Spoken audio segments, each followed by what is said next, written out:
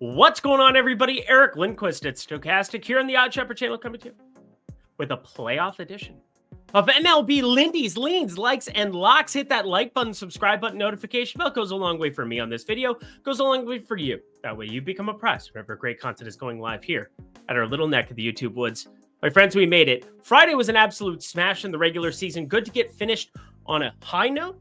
On a high note, like my voice from time to time. But anyway, we have reached the playoffs. It is about damn time. I've been waiting for meaningful baseball because the last month it's like, well, who's out? Who's we reacted well over the for the most part. The the last couple weeks, very profitable, exciting times to be here on the Lindy's Leans Likes and Likes program, of course. But it is playoff time. I've got some great plays for you. We have props ahead of time, so we're able to kind of delve through those, be able to project out for those, do the market based approach over there, over at uh, Odd Shopper as well. Great stuff. But Bet365, are you kidding me? Brand new offer that is showing up here just in time for the MLB playoffs. Bet $1. This is, this is not a joke. Bet $1.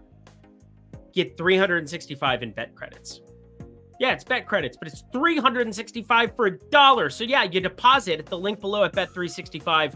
That's an absurd deal, and it's only available in a few states. A few states. So if it's available in yours, fire it up down below. I know Kentucky, you just got sports betting. Know it's available to you. Uh, I'm jealous. I'm jealous. That would be awesome sauce.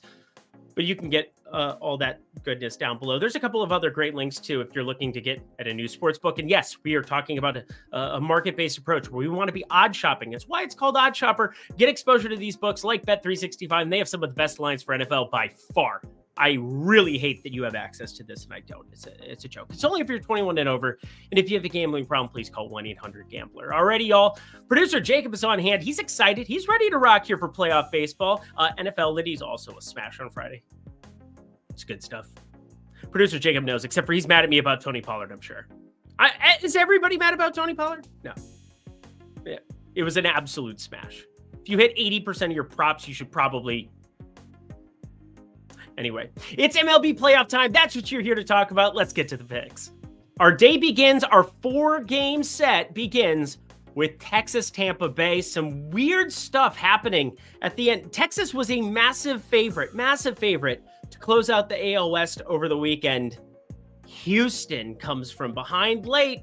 Wish I had bet that. There was some massive money you could have made there. A couple of my friends did. Uh, not myself. I'm the betting expert. Anyway, we have the Texas Rangers, Tampa Bay Rays here for this one. Jordan Montgomery, Southpaw, going up against Tyler Glasnow. And Tampa Bay, obviously their lineup is weaker because they have injuries and terrible people that used to be on their baseball teams. But Luke Raley, Jose Siri, Brandon Lowe, all going to be out here for uh, the, the near future, it would look like. Now, Brandon Lowe they're talking about him possibly coming back to the fray here at some point in time in these playoffs if they continue on. And I do think Tampa Bay, if I had to be taking a futures on any of these teams, I still think they have the bullpen and the bats to be able to make this work. Of course, the starting pitcher, too. Tyler Glasnow, this is their ace. And some teams leading off with their ace, some of the dogs not leading out their ace, uh, basically punting a game one here. We'll talk about that one next. But Jordan Montgomery here on this side of it, this makes complete sense to me that he's going to be the guy that they're relying on to open out their series. You want to be saving some other pieces. Obviously, it would be great to have those pieces be Jacob DeGrom and Max Scherzer, but such is life. You don't get uh, no soup for you no soup for you. But Jordan Montgomery, 310 xwOBA, but 37.9% hard hit percentage and just good stuff overall, just average stuff. 21.4% K rate. He's not going to impress you in that regard by any means, but you know what? He's not John Means in that. I mean, John Means been better. That was a John Means joke. That was a Means joke. I was being Means.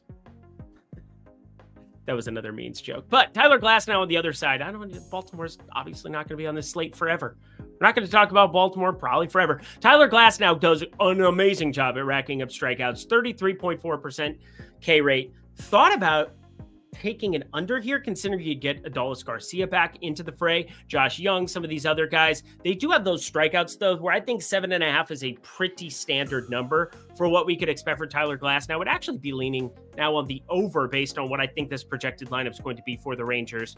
But overall, friends, I think we just kind of get our day started with a very clear cut, straightforward play. I love the idea of the Texas Rangers. I love the idea of them.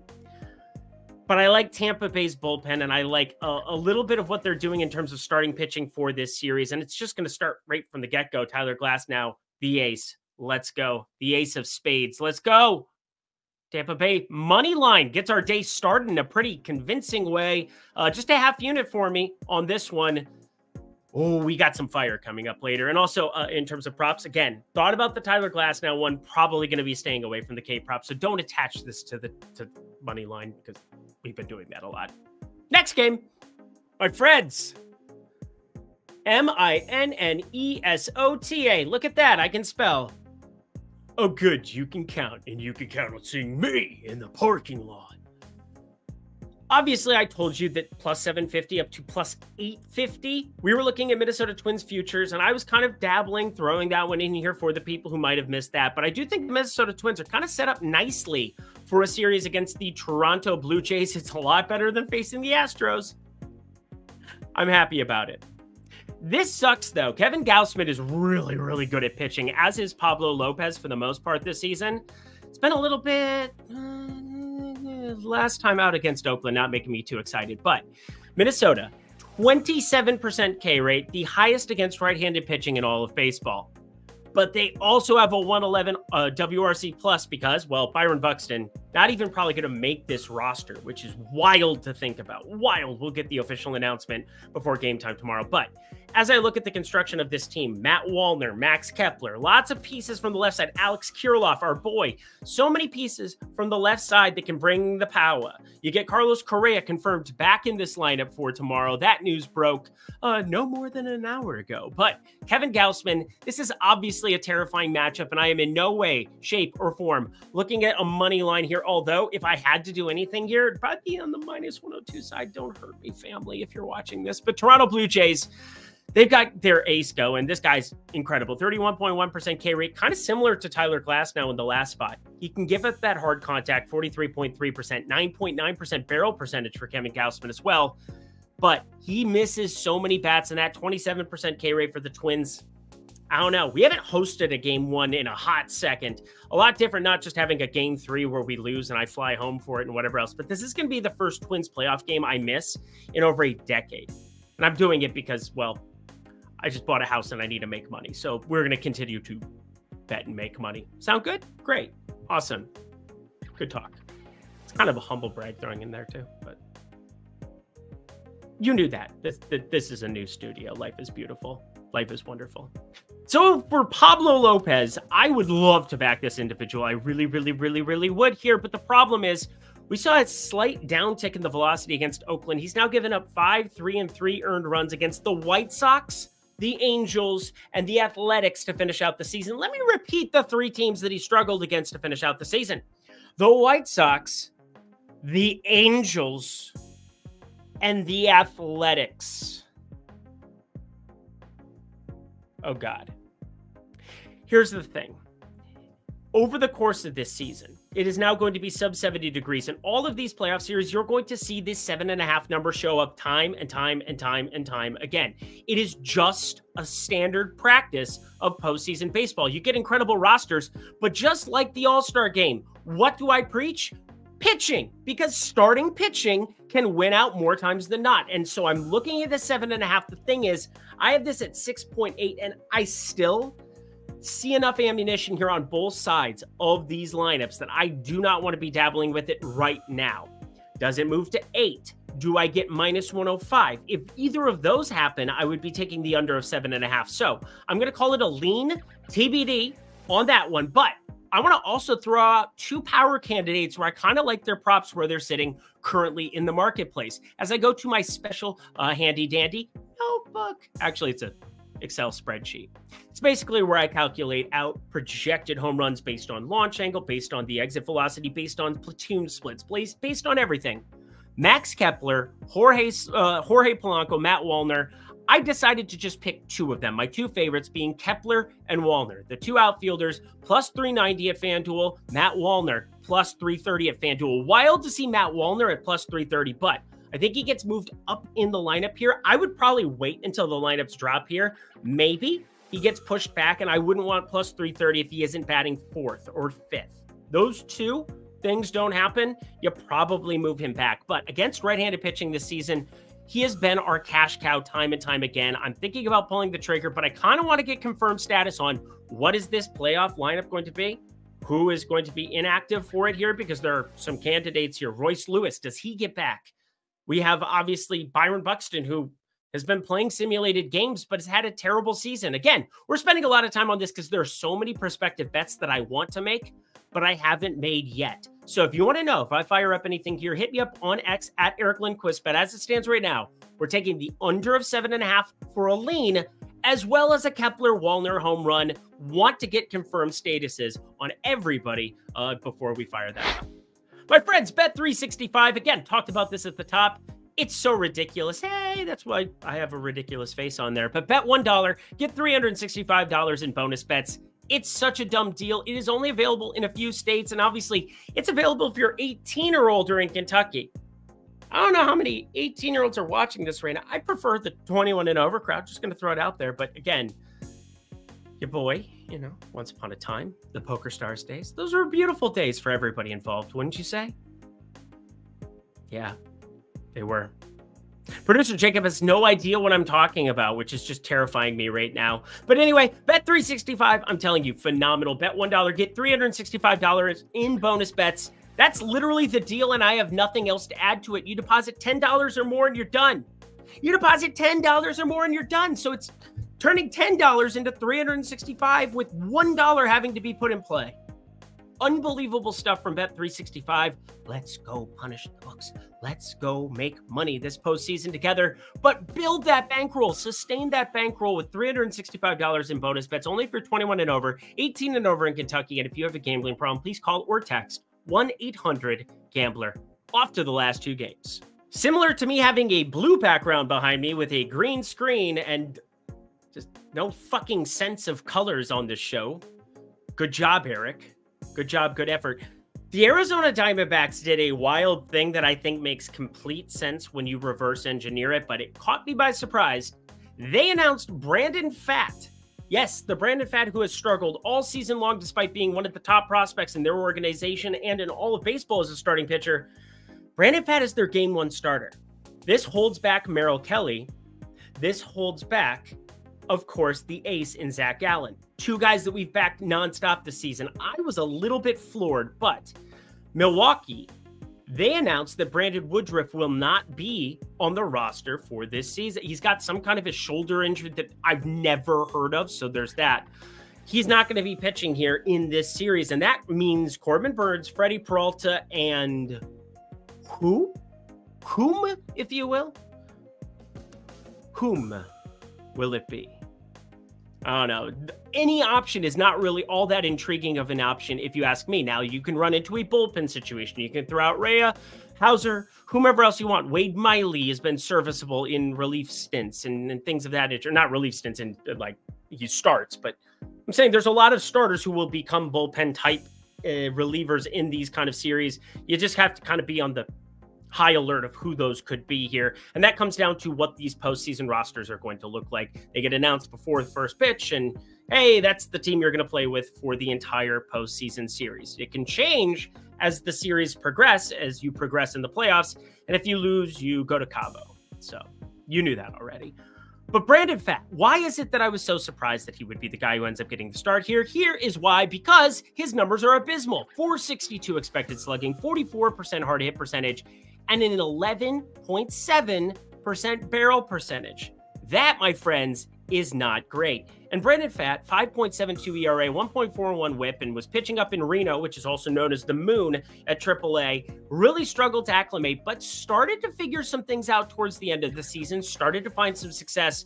No better success than his last start, basically pulling an inverse of Pablo Lopez, goes up against the White Sox on the road, five and two thirds, five hits, no walks, no earned runs, eight strikeouts. Really good stuff in 87 pitches. They're trying to ride that momentum. Uh, you know, a young kid feeling a little cocky, feeling a little cocky. He's ready to go here for game one here. They're holding back uh, Kelly and Gallen. Kind of sucks though that you're not going to have game four availability for whomever that would be, and game five availability will only be one of the two. So, just saying, an interesting construction they have here, but obviously they're going to try to get done with the bats against a Corbin Burnes here, who's been electric Boogie Woogie Woogie. 32.4% hard hit percentage, 340 expected slugging, 25.5% uh, K rate, and a 5.3% barrel percentage puts that combination of a cutter, which is awesome, 17.2% usage of a curve and a changeup and a sinker. They all kind of get mixed around 10 to 15 to 20%, uh, all in that range over the course of the last couple of years. But that cutter specifically, a great go-to pitch. It's uh, it's really good gets a lot of weak contact. But if Brandon Pfaadt can in any way, shape, or form help out, just carry the line here, I would actually be leaning towards the Arizona sign enough to make it a play for the people here. When I look at this run line, minus 130, I think this is a great attachment actually to Corbin Burnes under five and a half strikeouts here. Corbin Burnes, yes, you would think with that strikeout rate that this would be something you could go for 25.5%. But as you look at the construction of this Arizona lineup, they have constantly, time and time again, avoided strikeouts against righty all the way to 20.7% K rate against that handedness. Better than these playoffs, only by Atlanta and Houston. Those are really good pieces to be company in a statistic of any kind. Unless it's cheating, because then Houston wins.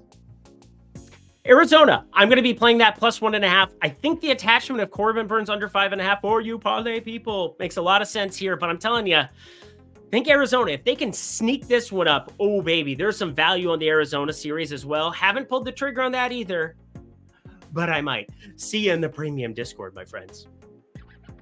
And the final game of the night is something that I am so entertained by. It's unbelievable. And for anybody who watched MLB Lindy's Leans, Likes, and Locks last postseason, you know, the World Series, the Phillies were the pick. And, uh, well, they got there. We were able to hedge out accordingly, make a little bit of profit. And I'm not a big hedge guy, but you had to read the tea leaves a little bit last season. The Phillies, they overkicked their coverage, but that win, that series win against San Diego was so satisfying. And it was just purely because of Zack Wheeler and Aaron Nola going into St. Louis in the first season, then the San Diego season uh, series. So many spots where the Phillies just continually got to the plate, made things happen, and I think that they do it again here against Jesus Luzardo. And uh, yeah, a lot of lefties that you're rolling out with the Bryce Harpers, the Kyle Schwarbers, things of that nature. But nice to see a great second half there from Trea Turner. I'm going to be paying crazy attention to Trea Turner's status here. He was day to day. He got held out of the regular season finale. I'm pretty positive that he plays here in this one, but Anyway, I bet it. I already have a unit on this, so there's not a whole lot I can do about it. I back Zack Wheeler in the playoffs. Let me say this one more time. I back Zack Wheeler in the JD playoffs because he is a dude. He is an absolute dude. And we rode him to glory last season. Aaron Nola, I'm a little bit freaked out by, and that's why we're not going to make the Phillies our series bet for these first two. Uh, Minnesota, we've already got them to win the AL as a ticket here from this show and that's yeah, it's it feels like a homer pick, but I promise you it's more math based than that, but also maybe a little homer based. But we're looking tomorrow. That is going to be the series play for you, a lock that you're not going to want to miss in any way, shape, or form. And uh, yeah, I'll save it here. I'll save it here for now. I'll fire it in the premium Discord for the people so they can know. But the Miami Marlins here, they do get Luis Arraez back. That is a big piece that they were missing here from the last couple. Similar to the Trea Turner thing, I guess we just have to take their word for it. This ankle injury is not so bad. He's going to be on the uh, roster, is the announcement.